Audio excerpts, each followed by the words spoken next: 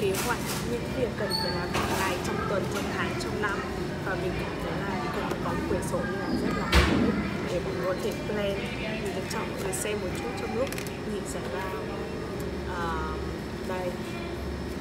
Mọi người có thể thấy mình take note rất nhiều đây là này và những cái thứ mình cần take note. Đó note everywhere. Mình thấy khá là có hiệu quả trong cái việc mà làm như thế nên là và mình đang học IELTS từ cuối tuần để mình thi. Nếu như là mọi người hỏi mình là mà luyện IELTS ở đâu thì mình luyện ở trang web này. Nó có IELTS của cả academic và general để cho mọi người có thể luyện. Thì tại vì IELTS bây giờ đang triển khai cái kỳ thi mà ở trên máy tính nên là khi mà mọi người làm trên máy tính thì sẽ quen hơn và phòng thi sẽ không bị uh, kiểu uh, bàng hoàng. Thì đây là một ví dụ của một cái uh, actual test thì gồm có bốn kỹ năng luôn. Mình sẽ ấn thử cho mọi người xem. Đó. Đây là bài uh, listening thì mình sẽ điền vào đây. Ở bên này có thời gian submit và uh, các cái thông tin khác để back về. Bên này thì có uh, reading.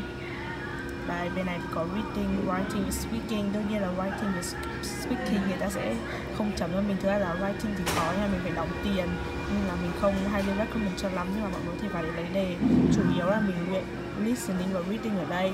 Ngoài ra thì nó cũng có cả IELTS Analytics để mọi người có thể xem là uh, trình độ kiểu uh, trình độ của mọi người tăng tiết các thứ đến đâu hoặc là có những cái kiểu uh, tips. Đó thì mình thấy khá là hay. Nên là mọi người có thể thử. Hi, thì hôm nay đã là thứ tư rồi. Còn là hai ngày ba ba ngày nữa thì mình sẽ thi. Và bây giờ thì mình đang đi ăn phở. Để có một sức khỏe thật tốt. Yes. Mày ơi, cash only. Đi rút tiền ấy. Lại là một câu chuyện vẫn luôn thường xảy ra nhưng mình không bao giờ nhớ được. Đấy là tôi hầu hết tất cả những hàng ở Chinatown vì giá rẻ nên là không có chỗ để cả thẻ nên là phải đi rút tiền người ta chỉ nhận cash thôi. Mà mình thì không bao giờ có cash ở trong người nên là bây giờ phải đi rút tiền.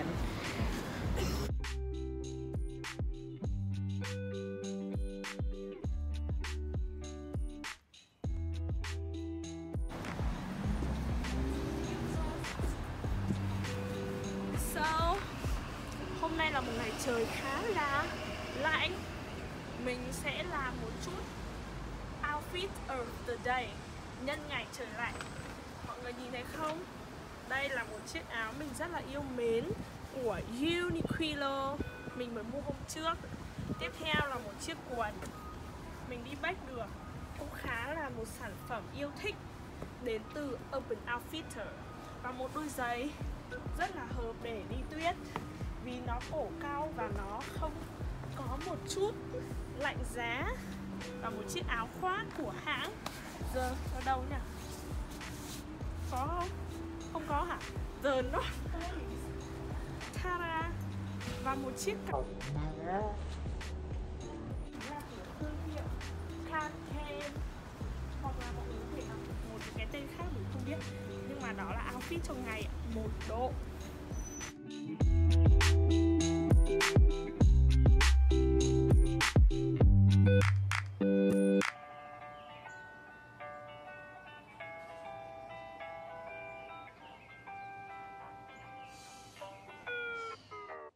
Đây mình đang ở trường để học. Học xong thì mình sẽ đi tới thư viện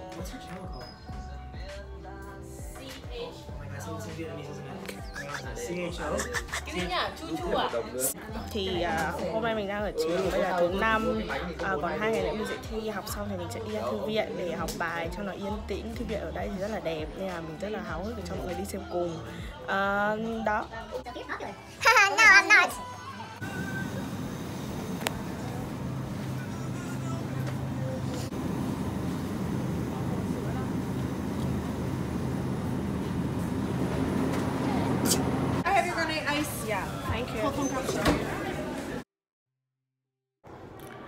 Như mọi người có thể thấy, hành trang đi học của mình thì chỉ có một chiếc máy tính, uh, một cốc cà phê, một quyển sổ và một hộp kẹo.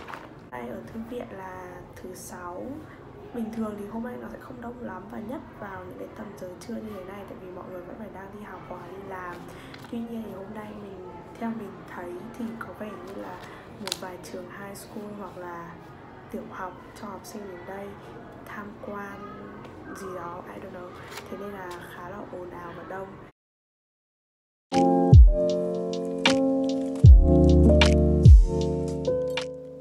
Hello Tara. Thế là đã đến ngày đi thi. Bây giờ là 7 giờ rưỡi hơn 7 giờ 40 à, Mình vừa mới gọi Uber để đi từ nhà ra chỗ thi.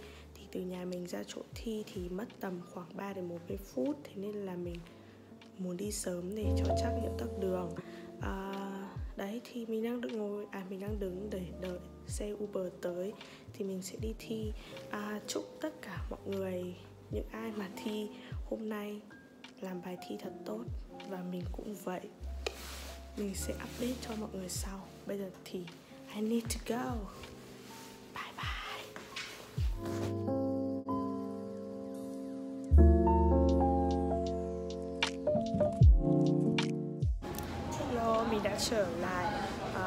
Vừa mới thi à, uh, 3 tiếng viết xong gồm có đọc, viết và nghe Thì mình sẽ kể lại cho mọi người cái câu chuyện hôm nay mình đi thi. Thì bình thường ở Việt Nam thì các kỳ thi IELTS được tổ chức khá là hoành tráng, quy mô lớn Vì có rất là nhiều người thi khoảng, nếu mình nhớ không nhầm thì tầm khoảng hai ba trăm người. Mà nhất là hôm nào mà academic mà thi cùng với cả general thì sẽ rất là đông. Tuy nhiên thì ở bên này kỳ thi IELTS nó khá là phổ biến và bình thường nên là mọi người không, kiểu, quá là chú trọng một cái điều không không quá là chú trọng cái đấy.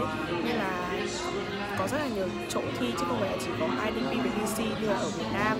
Mặc dù là cũng là của hệ thống của IDP và VC nhưng mà nó có rất là nhiều cơ sở để thi. Thì hôm nay mình thi ở một chỗ tên là Kaplan International thể mình sẽ để link ở dưới cho những ai mà đang ở Canada mà muốn thi IELTS. Thì mình thấy chỗ này là của BC mình thường ưu tiên chọn những chỗ của BC tại vì là IDP thì thường người ta không cung cấp cho mình tai nghe ở phần listening. Thì mình khá là sợ là âm thanh nó bị loãng không nghe được. Nên là mình quyết định chọn BC và giá thì nó cũng tùy thuộc vào trung tâm mà mình chọn nữa. Thì uh, tổng chi phí mình thi IELTS bên này hết 310 đô à, còn ở Việt Nam thì là 4 triệu rưỡi 5 triệu đấy mình không nhớ lắm. À, thì nó thì lúc mà mình đến thì à, quá sớm người ta còn chưa mở cửa cơ. Trong khi ở Việt Nam thì người ta yêu cầu đến 8 giờ trong khi 9 giờ mới thi còn ở đây 8 giờ 45 mới bắt có mặt trong khi 9 giờ thì mới được vào đăng ký. Thì lúc mà sign up thì cái máy ảnh với cả cái vân tay cái máy ảnh có vấn đề. Ra nó kiểu mất khoảng 20 phút. 15 phút để sửa lại cái ảnh nhưng mà cái ảnh nó vẫn không chụp được. Thế nên là người ta bảo là khi nào mà thi xong thì quay lại để người ta fix fix. Nhưng mà có vẻ như vẫn chưa fix được. Thì đấy thì tầm 9 giờ đáng lẽ 9 giờ thi đúng không? Thì vì cái vấn đề trục chặt máy móc thì 9 rưỡi thì mình mới thi được. Ờ, cái phòng thi cũng bé như là một cái lớp học thôi. Theo mình dự tính thì có khoảng 10 người tầm 10 người thi ngày hôm nay của mình mà đa phần là general chứ không phải là academic. À, cái gì nữa nhỉ? À để mà nói thì mình cũng chưa dám nói được là bài thi của mình tốt hay là không tốt mình thấy bình thường. À, nhưng mà gì nhỉ? À nhưng mà mình thấy cái đề thi writing có vẻ hơi bị trùng so với cái so với cả cái lần đầu tiên mà mình thi. Thì lần đầu tiên mà mình thi thì uh, đề bài hỏi là học sinh có nên học môn văn học nước ngoài không hay là chỉ nên chú trọng vào văn học Việt chú trọng vào văn học kiểu local kiểu uh, văn học của cái của của cái nước đấy thôi. Thì còn đề năm nay của mình là học sinh có nên học lịch sử hay không? Và như mọi người đã biết là mình là học sinh chuyên sử thế nên là đương nhiên là mình ủng hộ cái ý kiến đấy rồi không cái này là ngoài đấy thôi chứ mình không biết bạn ấy là như thế uh, và bây giờ thì mình đang ngồi để đợi thi speaking lúc một à, 2 giờ 40 phút rồi còn còn khoảng một tiếng nữa. Thì đó khi nào mà thi xong thì mình sẽ lại trở lại. Đấy đấy là câu chuyện đi thi IELTS ngày hôm nay của mình. Và mình đi thi nhưng mà mình không hiểu sao dạo này mình cực kỳ là buồn ngủ. Mặc dù sáng nay mình cũng đã uống Monster để cho tỉnh táo hơn nhưng mà có vẻ nó không có tác dụng đối với mình hoặc là cái loại đấy nó không có tác dụng. Ờ, mình vào cuộc thi mình rất là cực kỳ là buồn ngủ thế nên là trong bài listening thì mình có miss một vài câu vì mình kiểu không thể focus được vào kiểu quá là buồn ngủ luôn. Nhưng mà à với lại là ở đây người ta không còn bút chì cho mình như là ở DC đâu thế nên không ý là không như ở Việt Nam đâu mình có thể tự gọt và nó rất là mất thời gian mà mình rất là ghét cái bút chì đây vì nó cứ cùn cùn cùn cho mình viết nó cứ rất là khó chịu. Nên là mình có thể vẫn suggest các bạn thi ở Việt Nam nhưng mà để mình thi nói xem như thế nào và đợi mình nhận điểm xong thì mình sẽ có thể suggest một cách kiểu uh, khái quát nhất khái quát à không người ta gọi là gì thôi bỏ đi không quan tâm. Bây giờ thì uh, by the way thì mình nghĩ là mình sẽ ngồi mình nói tiếng Anh một chút để cho nó cái não của mình nó active ấy. Tại vì tự nhiên mình nói tiếng Việt ở trong video. Sau, bây giờ thì mình sẽ chuyển sang nói tiếng Anh để cho mọi người muốn nghe. Không mình đùa đáng biết kia đây Ta-da! Thế là đã sau 14 ngày kể từ cái ngày mà mình đi thi IELTS Lúc đấy tóc mình còn màu vàng, nhưng mà sau 2 tuần thì tóc mình đã chuyển màu mình không biết là mọi người thấy đây là màu gì, nhưng mà có thể là màu xanh hoặc có thể là màu đen, nhưng nó tối hơn là cái màu vàng tối hơn rất là nhiều. Và mình cảm thấy với cái mái tóc này thì khá là tự tin để ra đường hơn là cái mái tóc màu vàng. Ok, trở lại vấn đề IELTS thì mình muốn kết thúc cái vlog IELTS này của mình bằng một cái lời nhận xét về cách chấm điểm ở bên này so với cả ở Việt Nam à, nếu như mà so sánh với Việt Nam thì theo mình thấy nếu thi ở bên này thì chấm writing sẽ khá là khó hơn so với cả ở Việt Nam. À, thế nên là nếu như mà ai không thật sự giỏi về writing thì mình vẫn nghĩ là mọi người nên thi ở Việt Nam vì mình cảm nhận được là ở Việt Nam chấm dễ hơn khá là nhiều so với bên này. Uh, vì cái điểm writing nó không như là mình mong muốn và mình nghĩ là cái điểm của mình nó phải hơn như thế nên là mình đang suy nghĩ đến vấn đề là đi phúc khảo lại bài IELTS. Thì chắc là trong một hai ngày nữa mình sẽ suy nghĩ để sang tuần mình có câu trả lời cho bên uh, trung tâm thì uh, sẽ sau khoảng 6 tuần gì đó thì người ta sẽ gửi lại bài IELTS về cho mình. Nhưng mà thực ra là mình vẫn đang suy nghĩ có nên đi phúc khảo hay không hoặc là đợi lần sau để thi lại. Uh, thì đấy đấy là tất cả những cái trải nghiệm và những cái quá trình mà mình chuẩn bị thi IELTS và đi thi IELTS và đợi nhận kết quả và cái ờ, suy nghĩ cá nhân của mình về cái việc thi IELTS ở bên này. À, nếu như mọi người đã xem đến đây thì cảm ơn mọi người đã xem hết video của mình và hẹn gặp lại mọi người trong những video tiếp theo. Bye bye. Kiểu như là em sợ kiểu không được ủng hộ không được kiểu có nhiều người xem không ban thì, đầu chị như nào? thì ban đầu cũng chẳng có ai xem thứ đến bây giờ cũng chẳng có ai xem.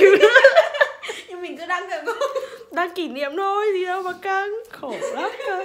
Thật ra đến bây giờ vẫn chẳng xem